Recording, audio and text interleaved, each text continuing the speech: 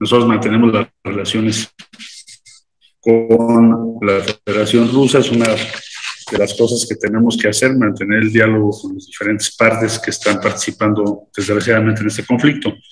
Eh, nos preguntan si respaldaríamos una posible respuesta bélica. Bueno, hoy no está planteada, tendríamos que revisar eh, si esto llegase a suceder, de qué naturaleza sería, y es muy difícil que México apoye una respuesta bélica. Nuestra posición esencialmente es encontrar una salida política. Es lo que hemos venido manejando hasta ahora.